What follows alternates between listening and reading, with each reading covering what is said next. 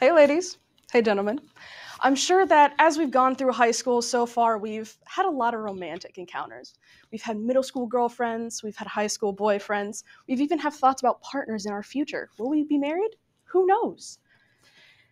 Now, that brings up how will we introduce ourselves to these future people that we want to see in our lives? Will we bring ourselves up with flowers? Will we go through online dating? Will we go with classic charisma and leave notes in lockers or even just pass them a letter?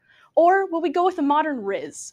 Today, I will be discussing the difference between Rizz and charisma. First, we start off with Rizz.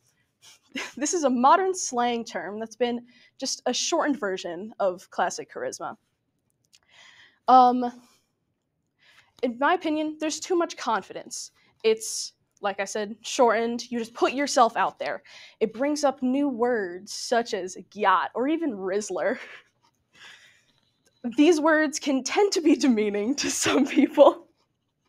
And they can often dilute the meaning of what some people find true love.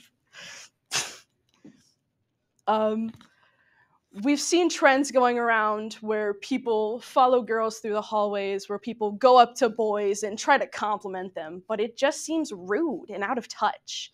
They make people uncomfortable. They tend to bring less to the person that is being subjected to this kind of content. And overall, they bring a bad mindset to people who are coming to watch it can put forth bad views and it can reflect horrible people as they start to uh, go through their own lives. What we do can affect others. So when we choose to rizz somebody up, we got to be careful with how we approach the topic.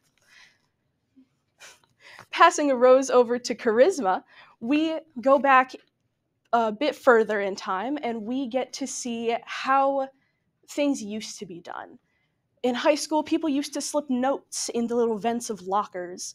They would pass notes to each other in class. Even some relationships that I know started in middle school when they would just throw a ball at somebody, say, Oh, I'm sorry, but I think you're cute. And then they would start a relationship that way. And 20 years later, they're still happily married.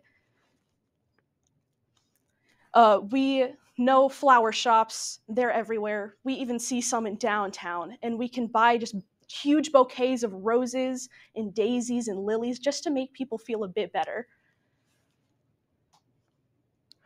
We see stories of romance that always involve charisma, always being your best self, always putting yourself out there, always just standing in the limelight.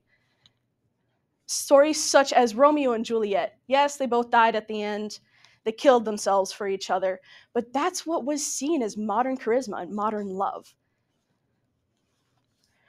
As we move on through our own lives, as we try and evolve our emotions, and as we try to evolve our taste in ourselves as people, just so we can be presentable and be the best person that we can be, we try our best to find people that we can share these moments with.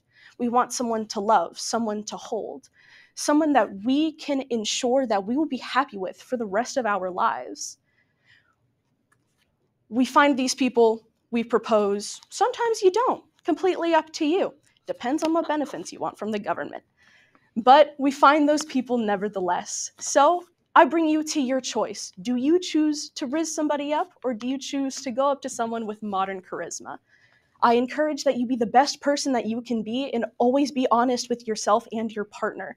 Just remember that you have to love one another, but also love yourself before you can love someone else. Thank you.